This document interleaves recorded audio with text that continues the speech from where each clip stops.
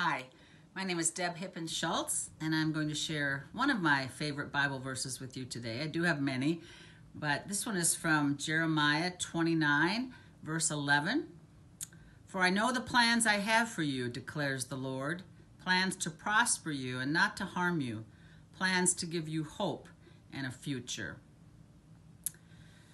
This verse was my Cursillo verse. Cursillo uh, is a spiritual weekend retreat started in the Catholic Church, but there's Lutheran Cursillo. And when I lived in Southern California, I, I went on the retreat.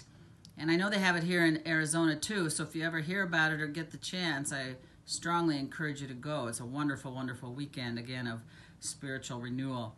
And so this, uh, the people who sponsored me chose this verse for me, and uh, it fit certainly at that time, but always. Uh, I was a pastor in Southern California, and I was single. I was single until I was 55 years old, and I'm pretty sure along those years I was longing for a, a mate and, and to have that support uh, during ministry. So that was part of it. But for all of us, you know, God has plans for us to prosper and not to harm. And wow, do we need to claim that during this, after this, uh, well, still during this COVID time. You know, God does not want to harm us. He has plans uh, for us to prosper us and give us hope in a future. And uh, my husband just got vaccinated, the first vaccine today, and I'm waiting for my turn. Um, that's part of our uh, future hope and plan, I believe. And so, no matter what we're facing in life, you know, maybe the grass is always greener on the other side, or, or you know, we see people doing things and you know wish uh, we could have that for ourselves. But God has a personal plan for each one of us. And throughout my years of ministry overseas and uh, in California in a church and in South Dakota in a nursing home, all the different venues, you know, God always had my back, if you will.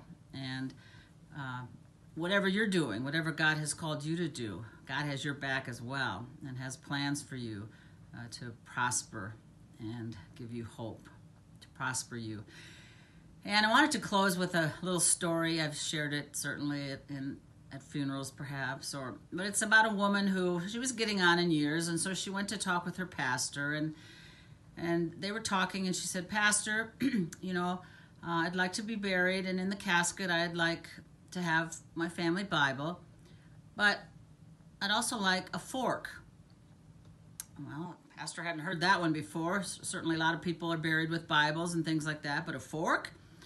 And she said yeah let me explain she said, You know, when you're at a potluck at church and they start clearing away uh, the, the plates and things, and they'll say to you, Keep your fork. And you know then that something really good is coming. You need a fork to eat pie or cake or something substantial. It's not going to be jello or whatever.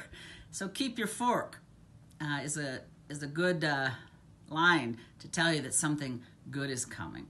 And she said, I want people to see the fork and to know that the best is yet to come.